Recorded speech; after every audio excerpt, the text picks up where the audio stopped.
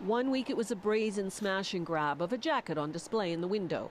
I thought it was a one off and I wasn't super concerned. The following week, it was much more. This time, a trio of thieves inside the Yaletown store for not more than 30 seconds.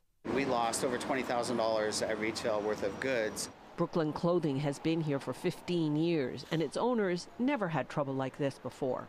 I do think it's related to COVID. In a matter of weeks, the store has been hit eight times. There are fewer people on the streets at night or in the morning, so I think that I think that if you're up to something bad, there, there, you know, there, there's there's no witnesses. It's just easier. In the first four weeks of spring, commercial break and enters in Vancouver spiked 147% over the same time last year. Stores are closed uh, and their stores are left unoccupied, and so it gives an opportunity to thieves to break into those um, shops and, and steal the goods. Last week, Vancouver police announced they'd arrested 40 suspects in connection to recent commercial B&Es.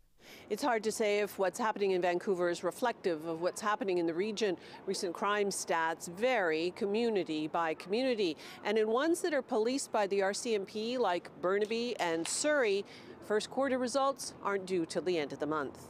In the meantime, Surrey has increased daily patrols around businesses closed due to the pandemic and increased focus on managing known property crime offenders. At SkyTrain stations with fewer people around, the March crime rate dropped 29%. But that's little comfort at this Booster Juice outlet where a thief recently took off with the electronic tablet used for delivery orders. It's our lifeline right now. Owners say the store already operates at a loss, but they thought it was important to stay open. We believe, especially as small business people, uh, I believe it's important to keep the flow of business moving, even if it's at a short term loss. Meanwhile, at Brooklyn Clothing, protective bars that were removed from windows years ago have now been reinstalled.